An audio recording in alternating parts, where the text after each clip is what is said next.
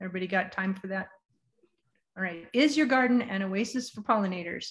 Uh, this was my picture that I had with lots of bees on a flower, but it is a bull thistle, which is an invasive uh, thistle. And our uh, native thistles are really wonderful. And I hope to track some down someday. So we've got a central bee, a centralis, to another one probably. And then I think it, they were um, Fervidus up there.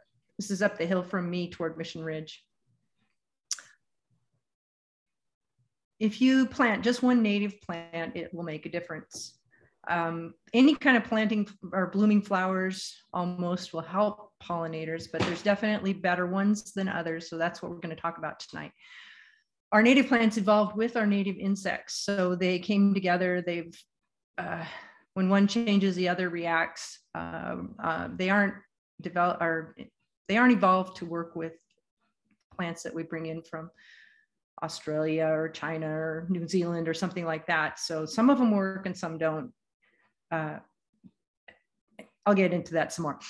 Building a new paradigm. Uh, I've also used this with the Rotary. They're they're um, going to do pollinator gardens across the state, and their projects have to be done in a year. So they particularly only have a little bit of time, perhaps limited finances. So if you haven't done this before, also you might want to just start small.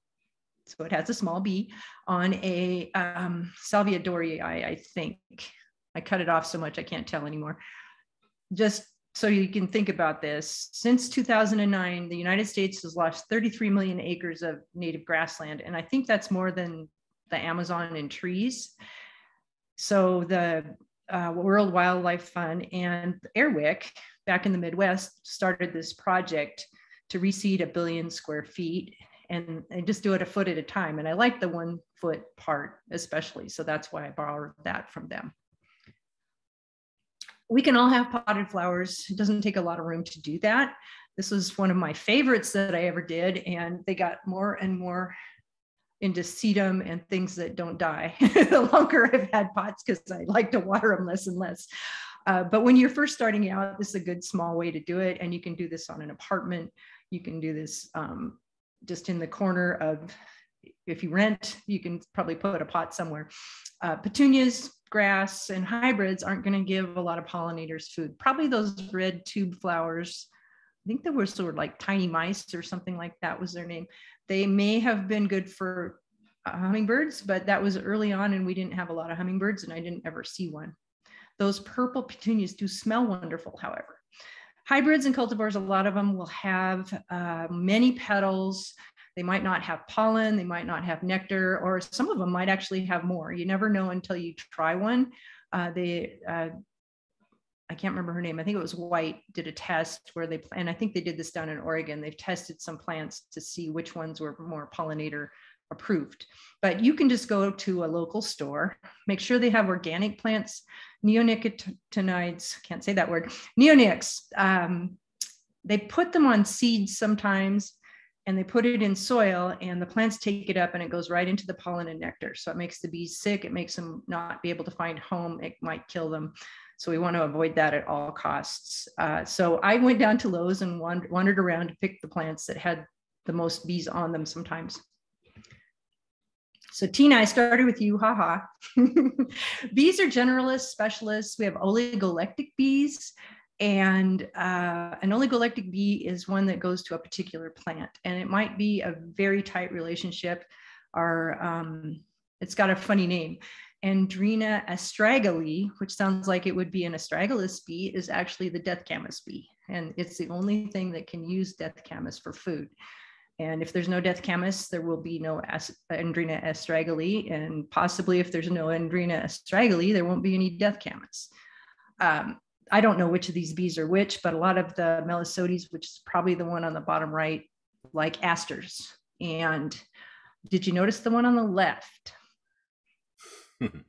I was, hope, a, I was hoping you noticed. it's not a bee. Tina found this amazing fly. So just really quick, um, the fly antennae look like little, um, kind of like giant eyelashes. They don't have that elbow, the bend in them that bees do. And if you look at the bee right next to it, you can see it has a long, a long section and then a little round ball, and then the rest of the antenna. So that's the scape is the long one that attaches to the head. The pedestal is like the little joint, and then the long ones that are all in a row are flagellomeres. And um, so they bend like an elbow a bit. Flies have two wings because they're in diptera, di for two, and ptera for wing. And they a lot of times their eyes will meet at the top of their head. They have much bigger eyes than our bees generally and their tongues kind of stick out. They can't fold them up like bees can. So you can see them, and they do that hand washing thing. So those are the ways to tell when you've got a really tricky fly around. And syrphid flies, especially, are really good pollinators too. Excuse me. Tina's Neighborhood Park. Uh, I'm going to start with parks and work up to gardens. If you cannot plant for pollinators, you could volunteer to help keep a neighborhood park uh, growing more natives, help them keep the invasive weeds out, just go and take lots of pictures like Tina does. Um, you could give them money. There's lots of things you can do for a park. And this is really cool. I think that's a honeybee. It might be a colletid. Will? I don't know, but that um, is the harvester ant. I would guess. I mean, yeah. Spider, excuse me. it's, a, it's a leaf cutter bee. It is a leaf cutter bee. Oh, you can see the scopa. Yeah. yeah. Oh, and, yeah, the, and, and, the bee yeah, made it. I have one of it flying away. No way. That's good so ending. Cool. Good ending. it, it, made it. I I was just amazed that the the spider is like grabbing it with its claw. It's so cool. it's wonderful to see um like the the wild nature interactions in little little tiny bits. Very cool. And then another demonstration garden that Chris shared with us. I really want to know what that plant on the left is. I have no idea what that is. Monardella is coyote, and that's on the right. It grows. I saw it in the most amazing place. If you go to Park Lake um, by Sun Lakes in um, the middle of the state, by the um, the giant ah, what's the name of it? The giant waterfall that doesn't have any water. Um, it grows in the talus. So the big uh, scree pile of basalt. And then there's these two foot, three foot circles growing right out of the rocks full of these little purple flowers. It's just wonderful. It's a tough little um, mint relation. There's a diadasia in the middle, uh, mixed in the bumblebee on the left.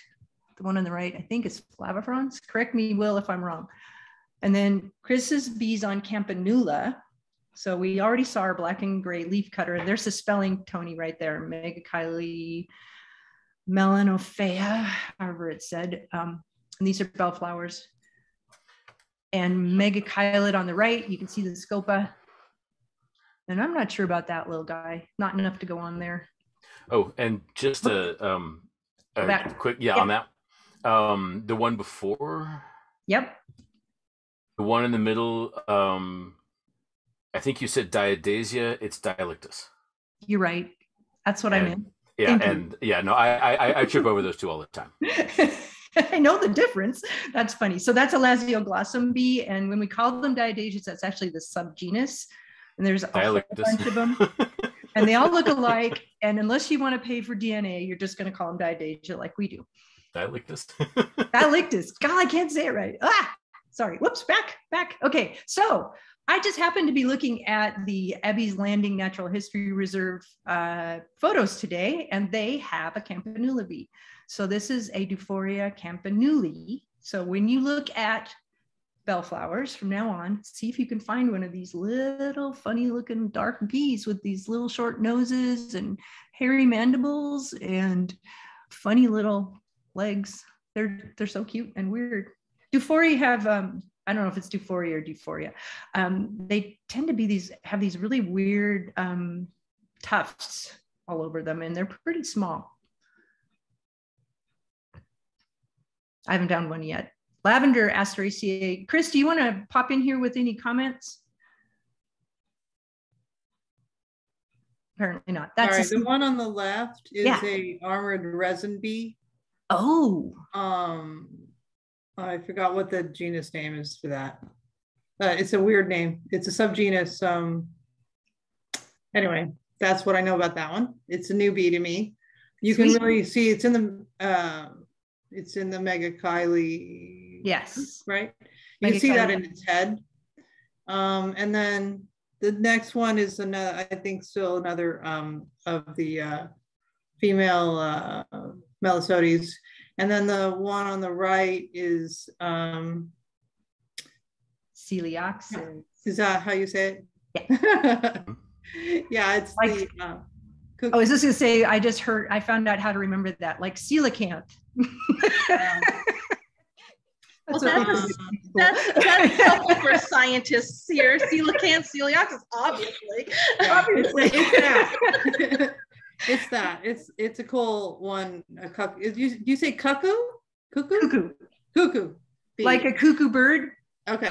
Good. They lay their their eggs in other bees' nests, so they don't have scopa. They don't collect pollen. They just go around slurping up nectar. I think they might eat some pollen, but that that kind has that really pointed tail to cut open other, I think, megachile nests because they're leaf cutters, right? So they make the little cocoons with pieces of petal or leaf, and then that thing has to slice through that to get her egg inside.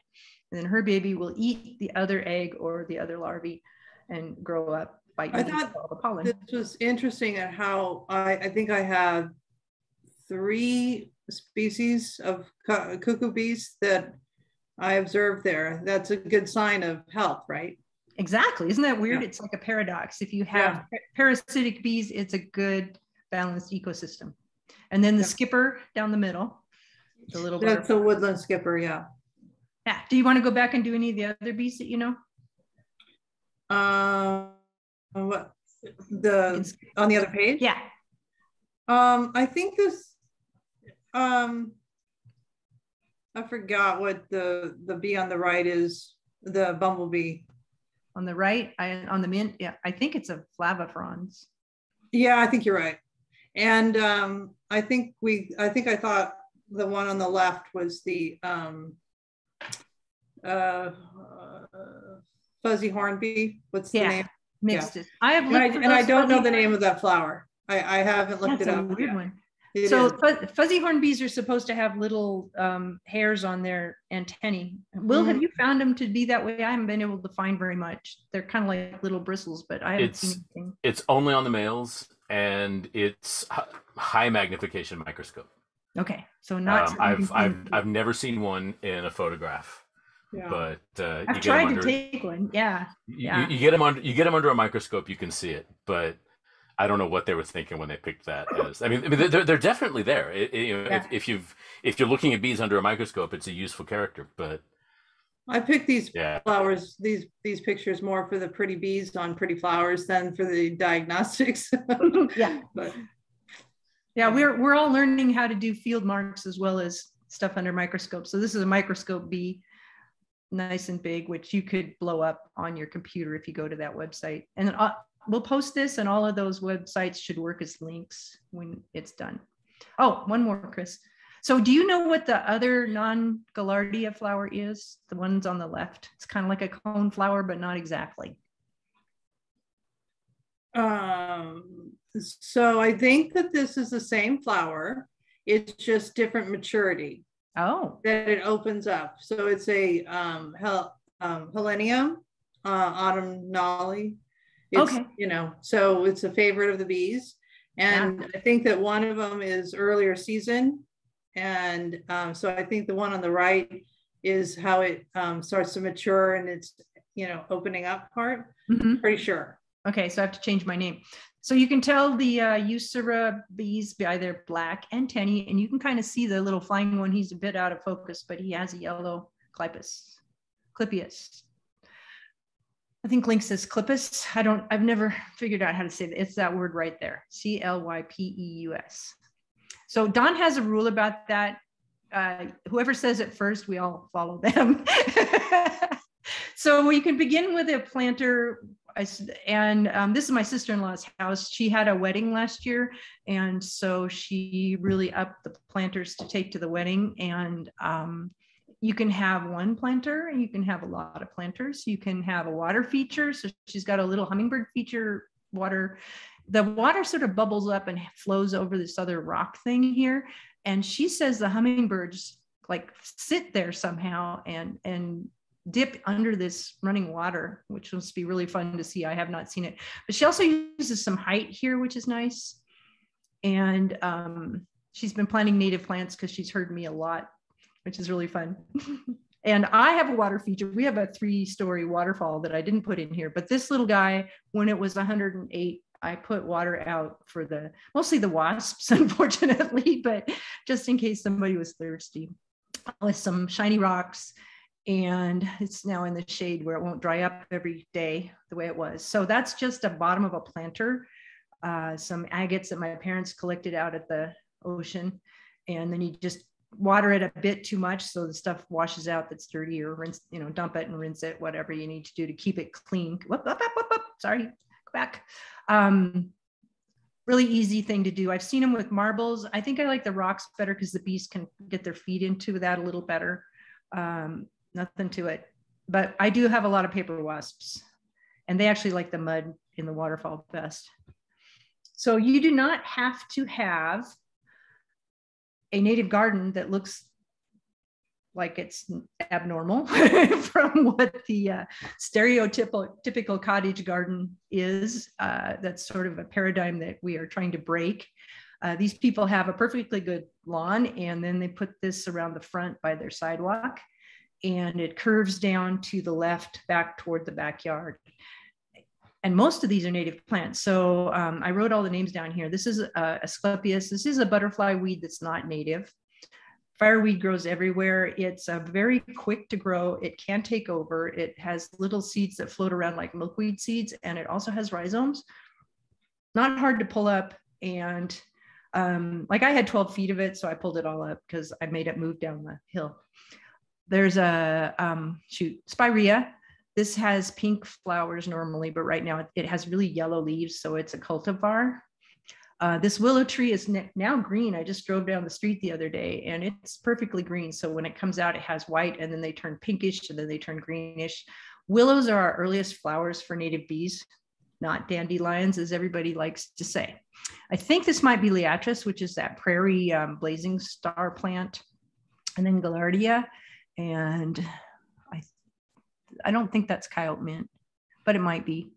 And then some yarrow and some other little daisy sort of things. Or oh no, I, those are probably like a fleabane that's done. Maybe hard to say. Whoops. I got to quit touching things. Uh, this is just a fun idea. What if we tried a punk garden? And this particular person has just let everything go wild in their yard, which would be very punkish. It would not go down well with an HOA place. Um, so then there's a solution for that. Another funny name, a mullet garden, tidy in the front, party in the back, which means you can do whatever you want in your backyard where nobody can see, maybe, depending upon your yard. In Elise's yard, I like uh, what happened here. If you leave it, they may come. She was working on her PhD. She has two little girls, and um, I don't think she had time to do a lot of yard work. And she had aggregations of Anthophora and Andrena both. And we have two great stories that you can read. Elise, do you want to say anything about your yard? We're sorry that you don't own it anymore. oh no, yeah, I just I did I did nothing. they were there. It was amazing. Let's hope that there was the lots new, of lots of bare dirt. The new people stick to the plan. I know, right? I'm trying to I'm trying to figure out a non-creepy way to like should I like buy them the bees in your backyard and send That's it to a great idea. Would that would that be would that be too stalkery? I don't know. No, buy them the book and then also put a little uh, bee habitat sign in your yard before you leave. oh, that's a great way thing to do, by the way. If you have you get a bee habitat sign, then you're telling people you're not just leaving the weeds and you're not just not thinking through what I mean. You're not uh, ignoring them and not thinking through things. You have a plan. Elise, That's why don't you send them links to the blog posts?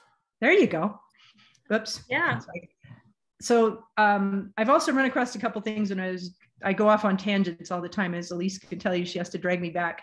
Uh, if half of American lawns were replaced with native plants, we could create the equivalent of 20 million acre national park nine times bigger than Yellowstone, a 100 times bigger than Shenandoah National Park. Doug Tallamy is, got, is a guy back east that does a lot of books that I have yet to read about um, natives and uh, he restored his own 10 acres. And he has started this thing called the Homegrown National Park and um, trying to make this happen, which is a cool idea. So just think about that. So Karen did that already. Karen, are you here? She has to unmute. So she had a big yard, looks like, with lots of grass. And Tina can pipe in here if she wants to. And then, voila. Looks like she's got a little bit of a border, so some lawn still, and then a lot of a little fence to kind of keep it organized is always good. She's got a um, arbor sort of a thing with some hummingbirds and this is one of Tina's favorite places. Do you want to say anything, Tina? And these are the results. Oops. So she has what she said was a queen bombus on a red flowering currant. She has a mason bee on another red flowering currant. Uh, so this was in April and this is in May. There's still some flowers going.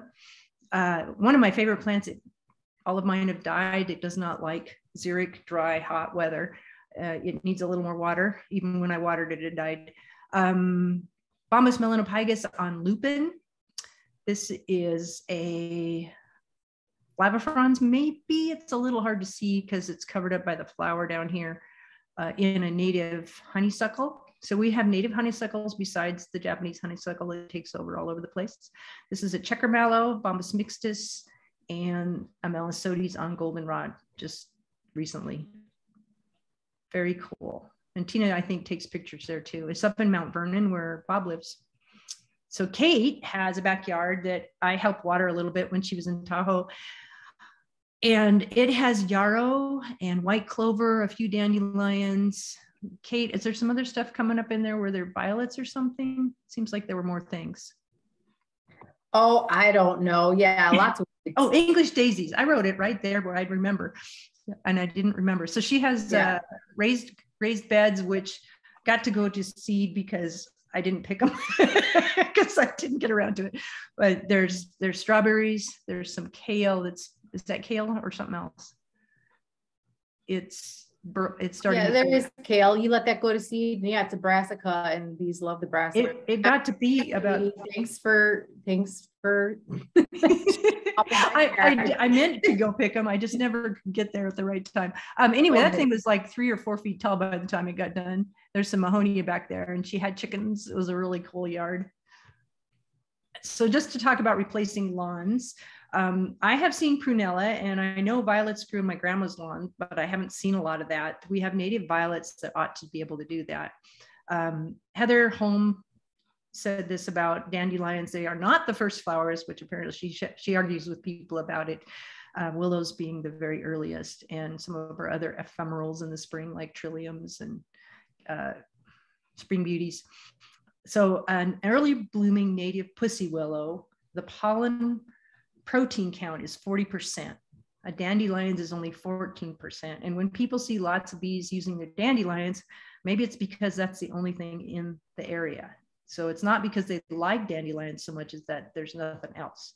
So think about that. Um, and they only have, you know, three to six weeks. They don't live a long time to mate, collect all that pollen, lay their eggs.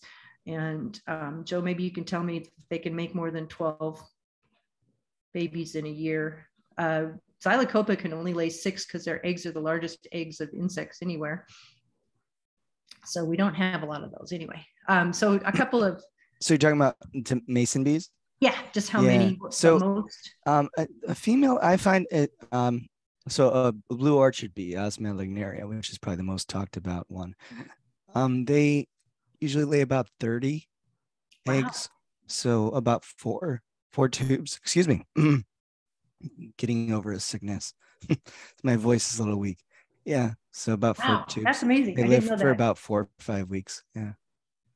We'll have to have you do the Mason talk again so we can record it. Yeah. Um, Northwest Meadowscapes is one of our local um, yard people seed pro- providers. These are, I think, a California native, so not from here. This is what they put in their their seed mix and I think it's $99 a pound, so it's not cheap. But you can look at this list and maybe pick up some one flower that you like and add it to your grass in all the holes if you want to do that. And this is another one. I don't know anything about either of these companies. PT Lawn Seed, I don't know what they cost. They had a whole different mix. And they kept talking about all of these things, but most of their pictures showed all of the English daisies and clover, not so much of the alyssum and the blue. Um, alyssum is really good for syrphid flies, and syrphid flies are very good woolly aphid eaters. Um, Mike uses them in the orchards in Royal Slope to this, the alyssum feeds this, this, the grown-up flies. The grown-up flies lay eggs, the larvae eat the woolly aphids, and they help with an organic orchard so they don't have to spray for pests. So you might want that if you have woolly aphids. So this is my yard, a whole different ball game. Um, this is a, like a dirt road that goes up behind our house in case we need to go up the hill for some reason. I go to Derby Canyon Natives to get stuff. There's this is a lot of bought stuff. This is a boxwood. These are all thyme. That's a salvia. Um, that's a lavender. This is a agastache, some lupin coming in from up there. So I have more pictures. Um, they talk about they put yarrow. I put a we have a meadow up here, and I put we put wildflowers in with the grass, and yarrow was in there. There's not a lot of yarrow on my hillside, but I have a lot of it in my yard because we do water a little bit. We start in July usually. This year it was wet all spring, so I have probably tons of yarrow coming up now. Um, if you can't grow things in the shade, I have this plant in my front yard where it gets more uh, shade and more water. We water the front the most. And this is a wonderful little viney little plant. And the Derby Canyon Natives guy, Ted Alway, um, couldn't grow it up there where he was it by uh, Peshastin near Leavenworth. But he came down and admired mine. So that was fun. I don't have any violets or piggyback plants. I think those are going to grow where you guys are over on the other side of the mountains. But I've tried a lot of steppables and just whatever survives. So this I think is a speedwell that's one of those that intermixes. And I love it when they blend together and kind of come up through each other. And then they have sometimes different bloom times. So you'll have one and then the other will take over, which is lots of fun.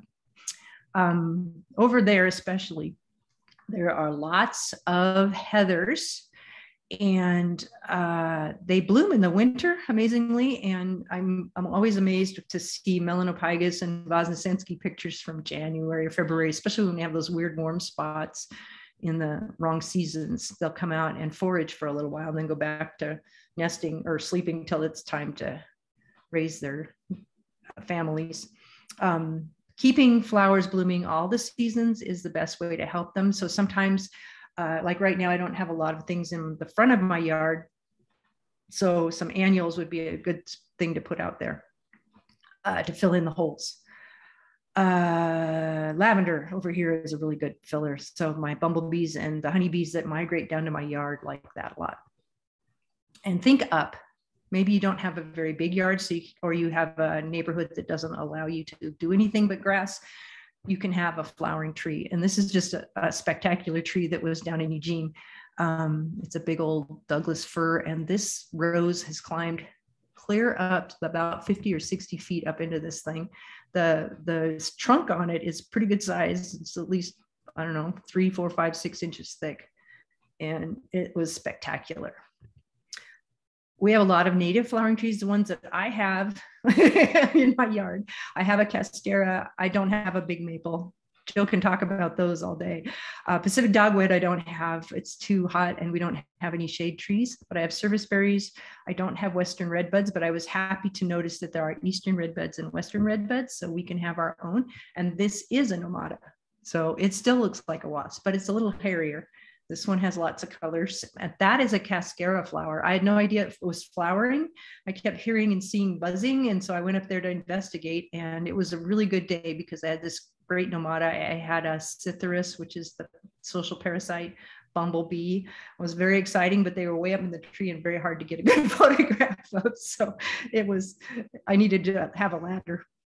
Um, so, whoops, I've got these mixed up. This is the grown-up version of those trees. So this is, um, I'm, I'm talking, this is, I think, a serviceberry, a, a ponderosa pine, some bitter cherries that we cut down that kept coming back. There's another serviceberry and some mahonia.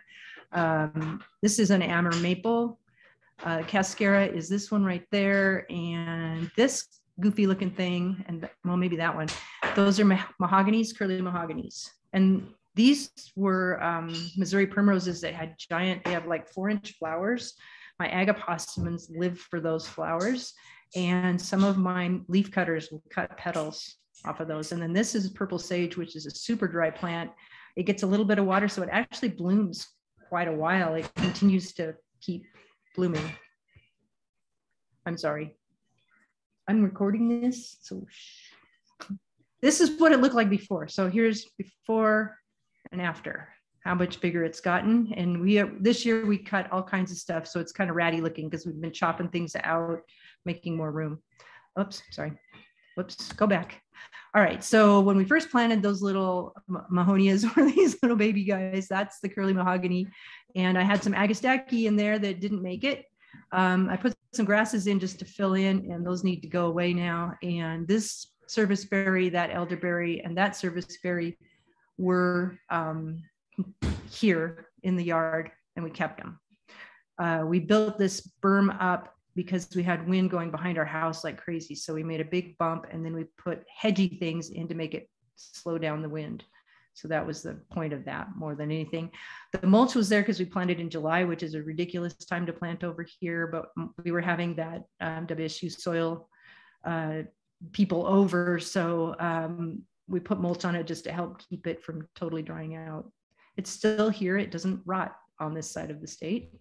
And this is our backyard. There's that path. We have some rocks that go up. This is our meadow. That's all flax. And it blooms in this morning. And then by noon, it sort of just fizzles away and it looks all green. It's really interesting. Um, there's a bunch of gaillardia in here. There's some, that's a, the same thing as this. This is a buckwheat and buckwheats and a lot of these things don't like a lot of water. So um, we're seeing who's going to win. The idea was to plant things that didn't need a lot of water so we could travel. And I tried to name everything down there. And this is very green now. This is looking down a waterfall. There's a little puddle down here. And right there, that is a juvenile coyote that came to visit. And he was ch- chasing the butterflies. It was so cute, but I had no way to get a good picture of it. This is Zauschneria, which is a southwest blooming hummingbird plant. So this is hummingbird alley here, and they like to sit in the serviceberry and chase each other away. But that stuff is kind of thuggish. We, it gets too much water down in the Southwest. You just see one here and one there and the little bitty plants. And this is like this big bully. So I've pulled out a bunch of it right there. I'm taking it back. And this is thread needles coreopsis, which is a really cool plant, has little yellow flowers. And whoops, dang it, I keep touching things. I'm sorry. Anyway, we get lots of things I can't tell which direction I'm going. Sorry. Lots of lizards, snakes, frogs, deer, rabbits, marmots, chipmunks, and a coyote pup. Uh, lots of things. And this is my favorite bird picture. We have tons of birds. Uh, we're surrounded by wild, and I'm in the canyon that comes down from Mission Ridge. So the, the forest is up there, the river is down there, and the birds go back and forth. So I see a lot of stuff. I'm in a really neat location. So I'm just lucky that way. There is a new pollinator garden in um, the Washington State Capitol. I think it was unveiled in July, June, June. I think that's right. I had some pictures and then I realized I didn't have any um, permission to use them. And so you can go to the zoo because I tried to contact them and their website makes that impossible. But you can go see the pictures of um, some of the ceremonies, mostly not the plants, or just go to the Olympia and see it. They did have a kind of a ratty looking um, pollinator house that needs some work. Uh, this is probably a trap for parasites at this point. And these things are arrows for the veterans section. That, that was when we were there in January. No flowers at that point. Cascadia College, it's Colleen's turn to talk about, and just tell me when to, oh, you don't know what the slides look like maybe. I don't, but that's okay. I can roll with this one. Um, so I worked at Cascadia College for a uh, year and change. And um, they have a joint campus with UW Bothell, and which is unique in and of itself. But uh, they work really hard. The sustainability departments work really hard to to uh, maintain uh, uh chemical-free, you know, campus. So they do have a lot. Of, they they have registered. They are a Bee Campus USA. Um, they have um, won the campus sustainability award for their food forest and also oh yeah herbicide free campus report. So they they definitely work hard to protect their pollinators. Okay, and, we have some pictures. go ahead. Yeah so um, this is from the bee research initiative that on on campus the students will come out and study the relative abundance and, and um, wait diversity of the bees. And see a little bee right here. But um, this campus is really well supported by the grounds team. The grounds team is amazing. Uh, and they do a really good job of both keeping a, a lot of pollinator plants in there and um, while still making it look, I don't know, pretty, you know, that's maybe the best word for it, but, um, and using UW colors, look at that, they got the, uh, uh, so that, um, but one of the things that the research initiative was able to do was to identify where there were bloom, bloom gaps on campus. And mm-hmm. then the um, grounds team would res respond by maybe planting more or planting things that bloom at different times. Awesome. I'm going to go one more and then we're going to go back probably. Just another picture. and she gave me lots. Yeah, I just I just threw a bunch of pictures out. Does anybody know what this thing is? Is that Liatris or is it something else? I don't know that flower. It looks minty. It may be, maybe um, a mint family. There's a Bombus vosnesenskii, maybe. It's covered in pollen, hard to tell, and a little boy bee. That pollen is not from that, that flower. It. That pollen is from oh, that pollen is from um, a rose of Sharon. That is just to the left. Oh, okay. I want to go back to that's a pink mallow on the right. Um, um someone right. mentioned penstemon. Is that it? Yeah. Would that be it? Oh, okay. That one? Oh, interesting. I don't know. Could be. And then back here, um, I heard a thing about asters because they always flop over. So if you cut them back around the late May to June time, then they branch out and they get a lot stiffer, and then you don't have so much of that floppiness, and then they're not laying on the ground all over the place. What I like about this too is how densely it's planted and it's in big swaths or groups. So the bees really like a big group they can see the yellow and they can just waddle around in this one area over and over mm-hmm. and over and over again. Um, and then if they're a purple bee, they can go from there to there to there. And that is an agapostemon. Whoops.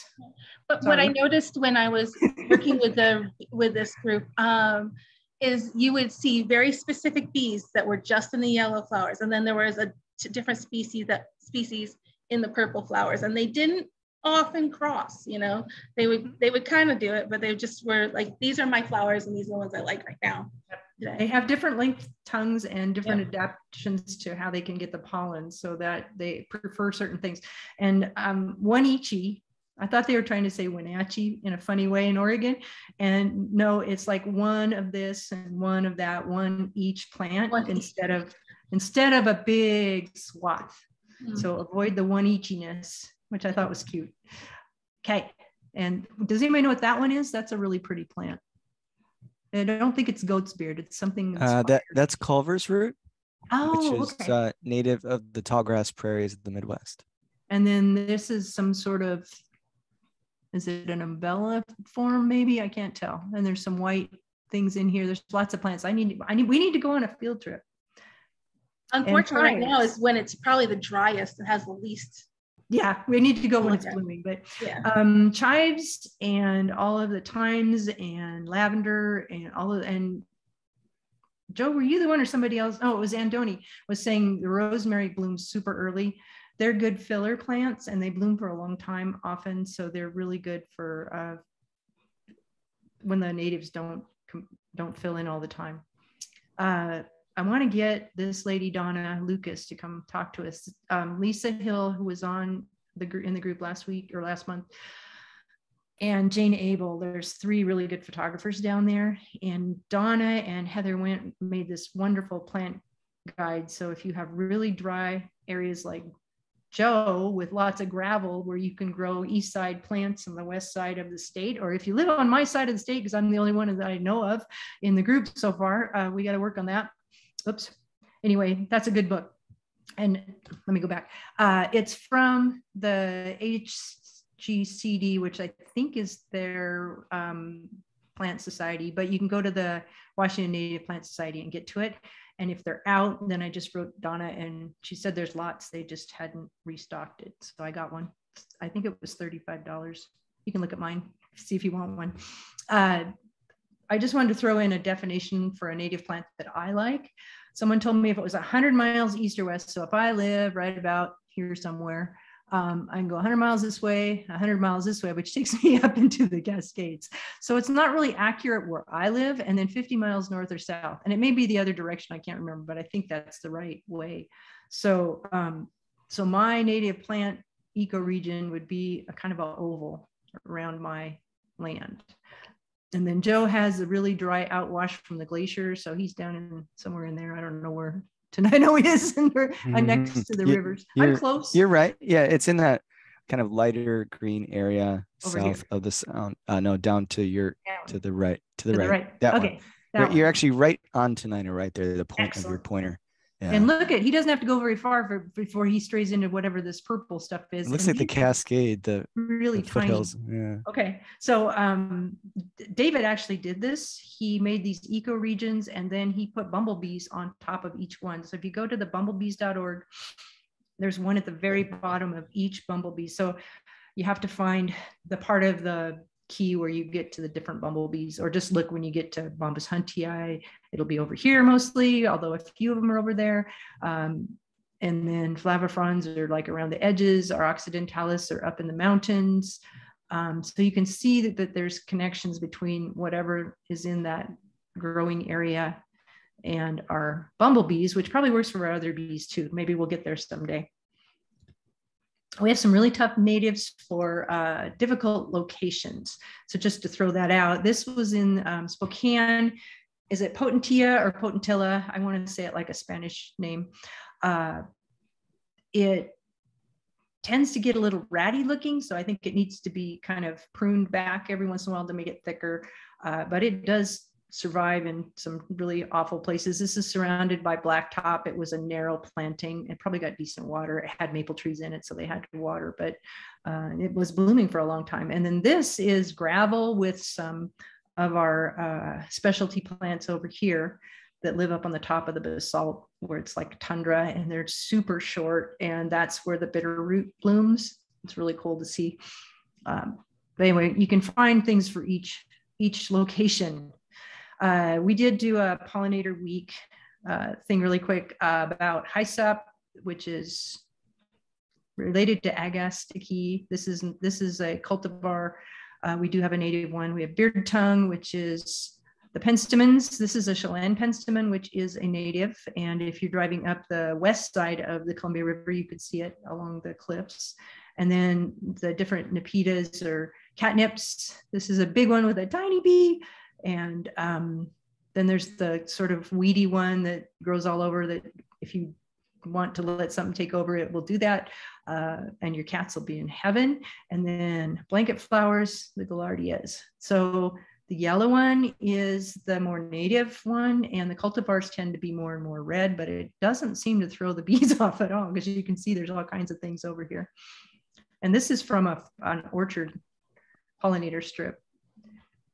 Those are probably osmia, I think. I don't know. Oops. Ah, sorry. Coreopsis is another one. Uh, look at the bottom on this bee. It is stuffed to the gills. So you can see why they hold their abdomens up. Megachiles were the first, megachilies, whichever. Um, they were uh, the first bees I learned outside of bumblebees because they hold their abdomens up to keep that powder out of the, from getting knocked loose, I suspect. And then these are our agapostemon males, which have yellow and black bottoms. They tend to look like little wasps flying around until they land and you can see the beautiful green. Our Joe, is our native one this red? Or is no, no. Um, the native one has very little red in it to almost no red. Um, so like and if you are interested in growing that, it's really easy to grow. Just go along the banks of the Columbia and the Columbia Gorge, and you probably find some seeds right now just about ah. anywhere you go. Find find like a, a, washed out area of the shore of the Columbia, and it should be growing on there. Cool. If you see yeah. more shore growing with little yellow plants, there's um, a Macropis I'm trying to find, and it's on Lysimachia ciliata, which come Jane Abel told me comes up when the water goes down in the river. I think the wild ones are kind of taller and wispier than our. Yeah, they they have like they, yeah, they have a kind of uh, um they they form a really clumpy rosette, um, that's dense, and then they stick like this wispy, uh, stem up, which is really nice to pair it with, um, some more bunchier plants in your garden because then it sort of emerges out of the plants mysteriously just pops into bloom because there's this wispy stem that doesn't have much to it and then suddenly you know it's all these yellow it's blooming yeah so it's nice to work into like meadow plantings and all it's fairly drought tolerant even though it grows on the banks of rivers so if you have a grassy area that might be lovely and then um, just to throw out that monarchs have been labeled as endangered um, this is the speciosa version. There is a honeybee down here. And one of the things that you can see a lot of times is these legs get trapped because they have pollinia, which is a pollen um, purse that sticks to the pollinators.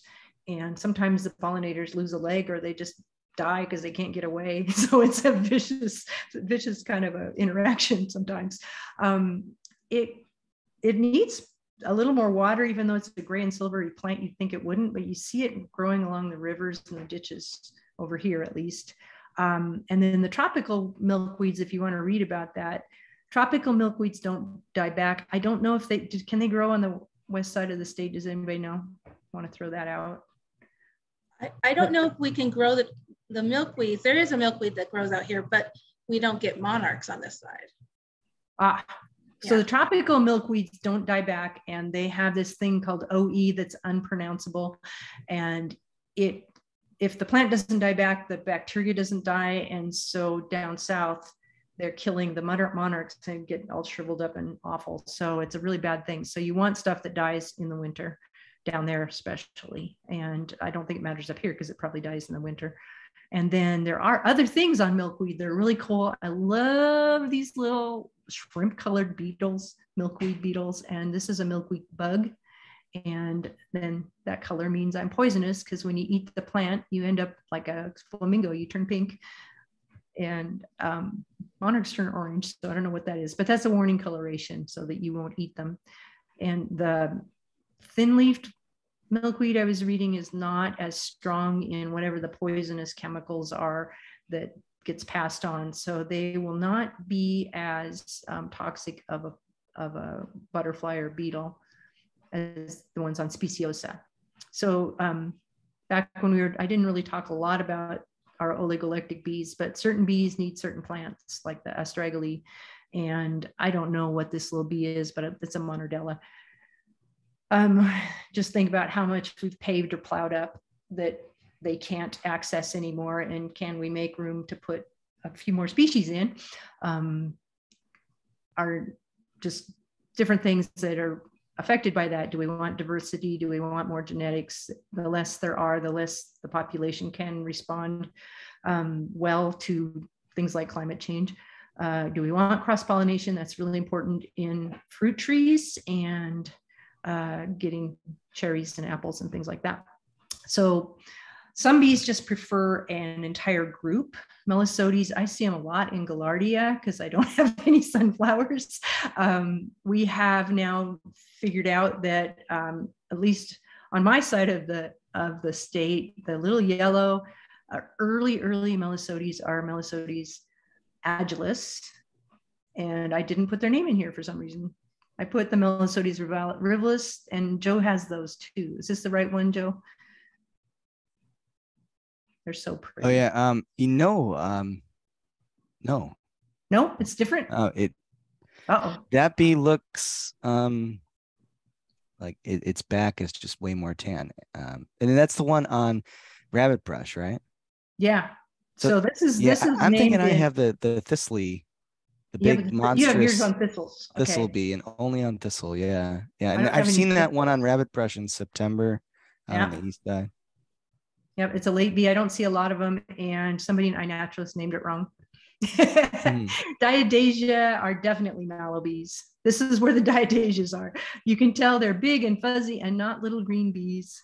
Thank you, Will. And this one is just roll. They do the same thing as the bumblebees in the poppies. They go around and round and round and round and round, and this bee is completely coated in pollen.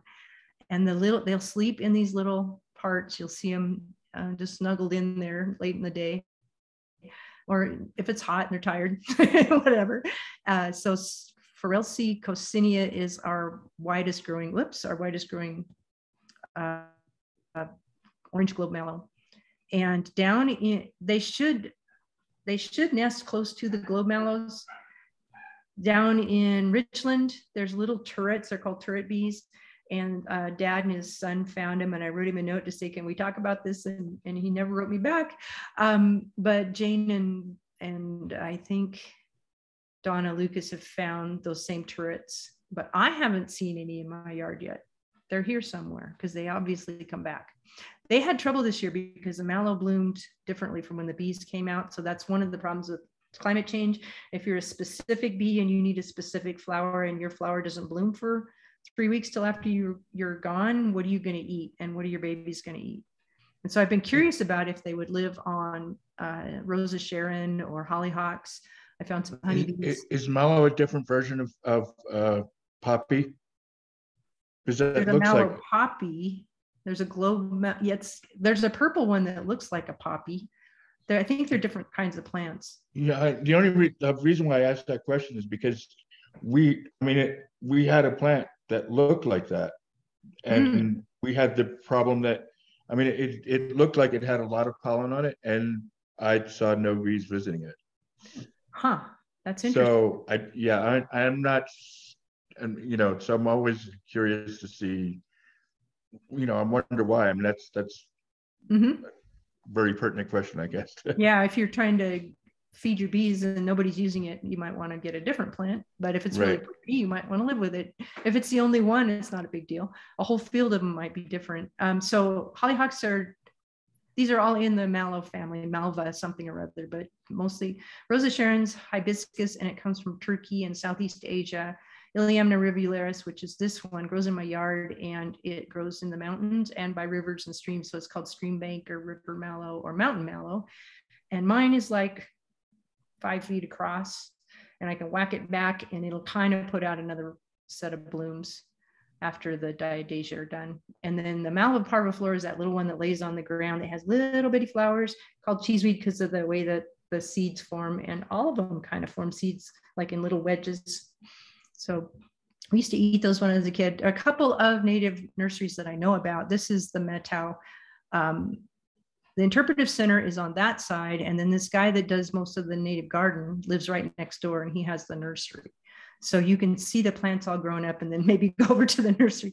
The, the other thing I forgot to say, and Chris, I had a I had a quote from Chris, but I can't see it, so I forgot to say it. Go to your gardens that have native plants or just have plants that have insects on them and look for the ones that make the bees the happiest, the ones that they're all over um, then you can find out what will grow in your area because if the garden's next to your house or not far away, it'll probably be fairly similar. And then this is some Derby Canyon natives. They live up in um, by Dryden, Peshastin, just down the hill from Leavenworth, and it's surrounded by pear orchards. And when Ted was running the pear, his pear orchard, it was all organic, and the people that bought it stop doing that. So I definitely saw a decrease in bees in the garden. Um, there's some penstemon there. There's some yarrow. Um, he grows cactus. This is a cactus, and he's got a pollinator habitat sign, which when it gets kind of weedy and dry and ratty, it's good to remind people that it was really pretty in the spring. And please have some patience and tolerance when it's growing some new flowers. And then we learned thick, thick, oh, I can't remember the word. Um, that's Joe's finger making the, the pollen in the cactus move. So if you put your finger, a bee in the cactus, the anthers will curl around the bee. I don't know if that's true for all cactus. Yeah, it's it's pretty crazy. It's really cool. Wow. so, what, I'm sorry. You, you want to stick your finger in like every cactus flower after that. Um, mm-hmm. the, the the little um anthers, they have a little mind of their own. Like they can move. They, it's, it's yeah, it's, it's cool. Yeah. So, and um, Lisa, I'm yeah. going to interrupt you though. Heidi has been giving us lots of good information in the background in our chat. Oh. And um, do we need to stop? We're at the end. Yeah, I, am I'm, I'm gonna, but like also, she used the word thigmotropic. Maybe. Thank you. That's the word. Yes, I want to say thick so, and that's I think what cornstarch does. Um, we'll, we'll go through it after you're done, and we'll go I'm back. pretty much done. Um, so just I had some pictures from the Methow pollinator garden because Don and I did a thing up there, and this is not a bee. Can you tell? It's a very good bumblebee mimic. It's a fly. See how it doesn't have any antenna? And its legs are skinny, especially this part right here down at the bottom where bees tend to have pollen carrying. And then this is a wasp that's a vegetarian. So this is a pollen wasp and they come in Phacelia and Penstemon brands. Um, and they look like yellow jackets, but you can see they have these little knobs. This is probably a boy. They have really wide antennae and they hold them out like that at the edges. And they have these funny little clubs on the end they'll be inside the penstemon or on the phacelia, and that's it. Very cool, called Pseudomasaris vespoides, and I can't remember the other one, Edwardsii maybe. So these are just some of the plants there. It tends to look kind of just green, but then you get down and you find all these wonderful little things. So look at this diadasia, just dancing in the pollen. And some information. And thanks for coming. And let's see that chat. I have to unshare, right?